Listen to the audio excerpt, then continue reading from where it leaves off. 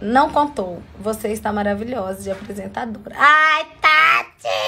Você é minha amiga, não vale. Tá bom? Você é minha amiga, não vale. Deixa eu contar para vocês uma coisa. Quando. Aí rolou o convite um dia, muito aleatoriamente.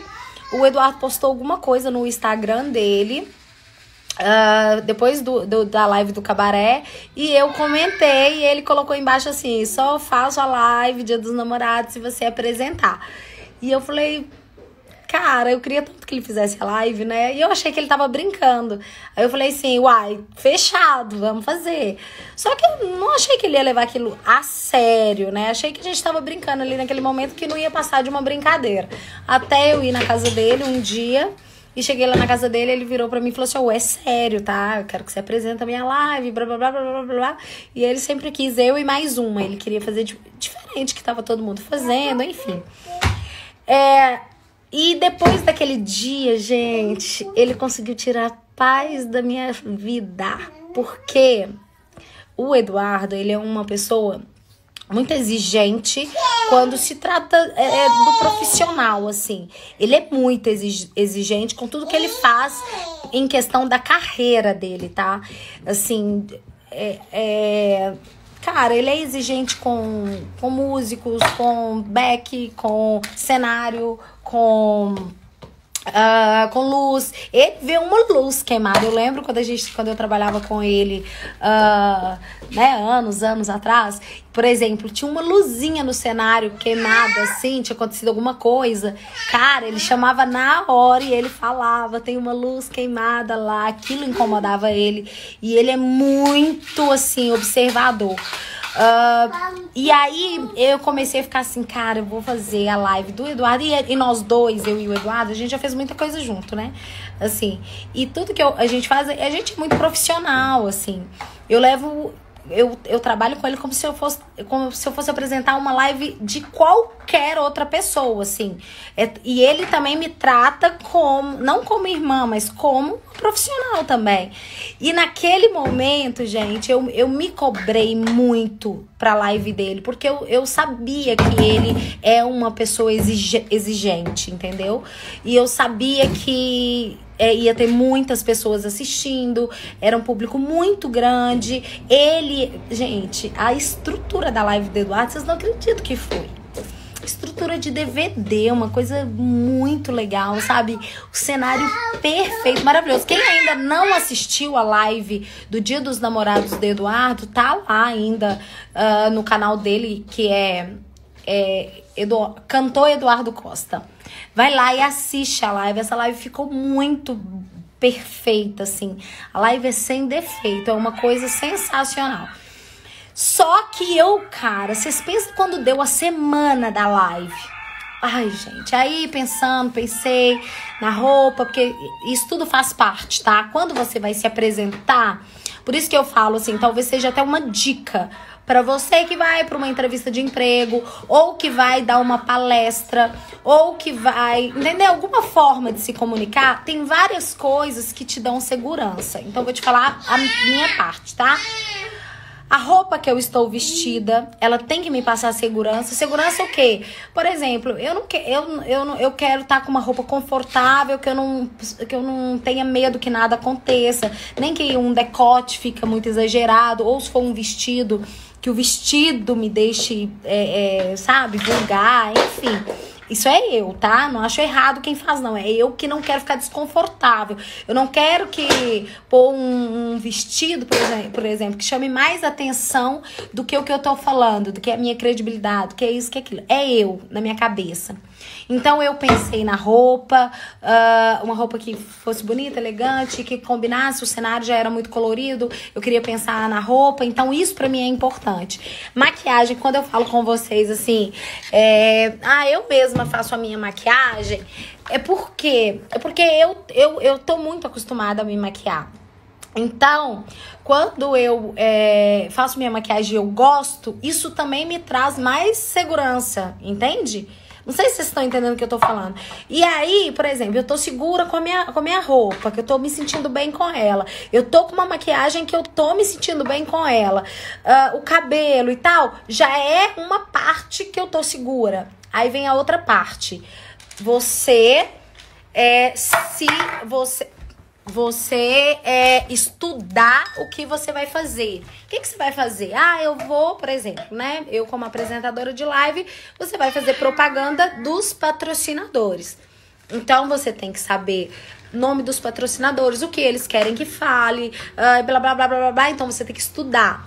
Os patrocinadores do Eduardo era coisas bem assim, por exemplo, era Uh, laboratório, então coisas assim delicadas de se falar, sabe? Que não, não dá pra ficar errando, sabe? Quando é aquele negócio assim, não dá pra errar. Era, tinha o sorteio, uh, enfim, era muita coisa. Gente, quando eu na semana, eu juro pra vocês, eu comecei a perder o sono.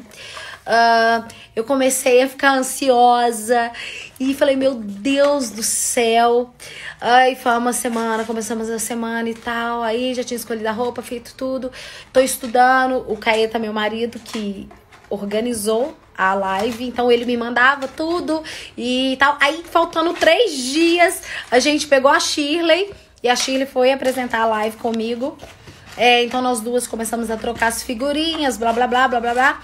Mas ela tá muito acostumada, né, com, com tudo isso. E eu, pra mim, era um momento assim de tudo muito novo. E, gente, eu comecei a não dormir, passar mal, da dor de barriga. E tudo vocês imaginar, tudo vocês imaginar, crise de ansiedade. E eu não. Sabe? Muita coisa. Aí quando deu no dia da live, gente, o dia da live. Ah, eu vou contar pra vocês. Aí eu lembro assim, um dia anterior da live, a gente tipo, passou um som aqui em casa. É, pra quem não sabe, a live do Eduardo foi aqui em casa também. E a gente passou um som, assim, sabe? E aí eu, eu e a Shirley conversando, como que a gente faria a abertura. Aí ela resolveu é, que a gente falasse uma poesia no início, né? Um verso assim. E aquilo, blá blá blá, inventando moda, mais moda. E eu, Shirley, eu vou matar facilitar você, porque em vez de você facilitar minha vida, você está acabando comigo. E enfim, foi um grande desafio. Deu na hora, gente, eu juro pra vocês. Aí tinha um lugar assim, onde a gente ficava em pé e tinha um telão em frente. Esse telão, quando começou a chegar o horário, por exemplo, faltando 10 minutos, ele começou a ser um reloginho. E lá ficava assim, tipo assim, faltando nove minutos, cinco minutos. É, quando foi faltando um minuto? Puta que pariu! Aí e, a, e, a, e eu que comecei, né? Aí a câmera era focada em mim, assim. Aí o cara, o, o, o, o Leandro, que tava organizando, falou comigo assim: na hora que der zero você pode meter bronca que você tá ao vivo. O que, que foi? O que, que foi? Você pode meter bronca que você tá ao vivo. Gente, eu posso falar com vocês? Eu olhei quando deu, faltando 10 segundos, 9, 8, 7, 6. Ó, minha, oh, eu tremia. Vocês não acreditam. Foi um grande desafio. E aí, quando só zerou, só vi minha carona lá no telão. E aí, filha, eu, eu fiz as minhas orações antes, né? Eu entrego tudo para Deus, tudo que eu vou fazer, coloco tudo nas mãos de Deus. Eu sei que Deus, né, é, tá na frente e é essencial. Mas você também precisa fazer sua parte para dar certo. Então, eu, na, na, quando zerou, na minha mente só vem assim, cara, eu, eu, eu tô pronta. tô pronta e vamos lá começar. E realmente. Uh, eu sou crítica demais, então se vocês me falarem assim, é, nossa, porque a gente recebe mensagens, né? Nossa, Sara, você foi ótima, eu adorei e tal. Uh, eu, com o meu senso crítico, e claro, eu acabo olhando mais os defeitos do que as qualidades, eu me critico muito. Ainda tem muita coisa que eu acho que. Uh, que eu tenho que aprender e que eu venho me aperfeiçoando a cada live. Porque é uma coisa nova para todo mundo, né? Então todo mundo tá aprendendo um pouco sobre o que fazer numa live, como se portar, enfim. E, e até então eu tinha. Todo mundo que eu via apresentando live era. Eu tava até vendo uh, uma live esses dias, não sei de quem, e era uma, uma, uma, uma mulher apresentando muito maravilhosa, mulher, e ela, mas ela era tipo muito tranquila, assim, tipo uma jornalista passando uma informação, mas sem muita coisa. Aí eu falo assim, gente, eu sou a pessoa mais reganhada do mundo, né? Porque eu falo uma traieira, eu dou risada alta, eu, eu, eu, eu brinco demais, eu sou assim então, é uma personalidade minha. Quem me contrata hoje pra fazer uma live sabe que eu sou assim. Que eu sou muito eu, eu não, eu não, eu não tô ali assim como uma jornalista para passar só as informações. Eu também quero dar meu show lá, eu acho, é tipo isso. É tipo isso, assim, eu também tô afim de dar meu show aqui hoje. Mas não é, porque eu sou muito eu ali naquele momento. Mas foi desafiador, viu, gente? Quando terminou, quando terminou a live, vocês não acreditam, mas que eu xinguei assim, porque eu tenho essa mania. Às vezes eu fico tão estressada, quando termina e deu certo.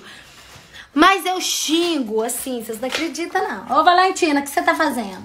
Vocês não acreditam, não. Eu xingo. Eu falo, ah, tá, puta que pariu. Deu certo. E aí a gente dá aquela. Uh, Graças a Deus. E aí foi legal demais, foi muito bom. Mas me deu dor de barriga no dia, dor de barriga, dor de barriga, frio na barriga. Aquilo assim que dá, né? Às, às vezes as pessoas veem, assistem de casa, pensam assim, nossa, ela tá tão natural. Parece que ela faz isso, né, todo dia. Mas não é, porque assim, por dentro a gente tá, mas a gente precisa fazer. Então a partir do momento que você tá ali, tem que fazer, bota pra fazer mesmo. Mas no final deu certo. Depois disso, eu venho fazendo várias lives. Uh, já fiz, né, algumas. Tô muito feliz em fazer. É, tem muita gente que manda até direct uh, duplas, uh, cantor, é, sei lá, banda, e, e é, perguntando. Depois eu vou deixar até aqui o contato da Carla, nem sei se ela tá me assistindo, que eu tô aqui falando as bobagens, já nem sabia que eu ia entrar aqui.